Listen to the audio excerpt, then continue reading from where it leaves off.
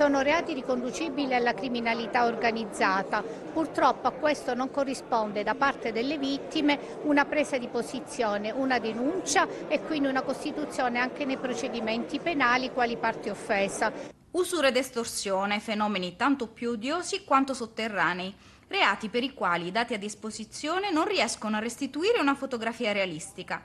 Dall'entrata in vigore delle norme nazionali a sostegno delle vittime, la Prefettura di Potenza ha trattato 53 procedimenti, di cui 17 per estorsione e 36 per usura. Nel Materano una sola denuncia per usura nel 2021 e nessuna l'anno scorso, 34 i casi di estorsione nel 2021, 40 nel 2022. Ci vuole una presa di coscienza da parte del cittadino, è anche un fatto culturale il cittadino deve riappropriarsi della libertà personale.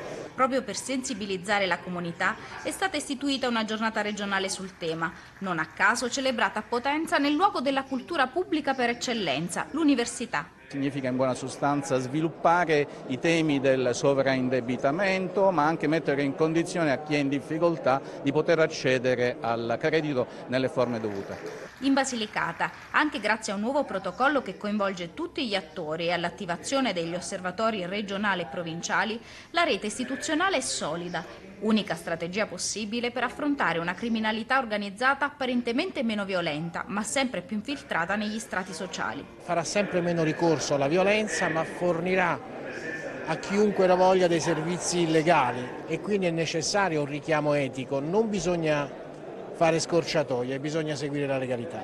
Una scelta, quella etica, che richiede consapevolezza e coraggio. A raccontarlo chi da vittima ha scelto la denuncia e poi la testimonianza. Il coraggio l'ho trovato perché sapevo di avere alle spalle le forze dell'ordine e soprattutto ho pensato che se non, se non mi, mi, fossi opposto avrei, avrei iniziato una vita di sottomissione. Fare rete e camminare insieme significa questo.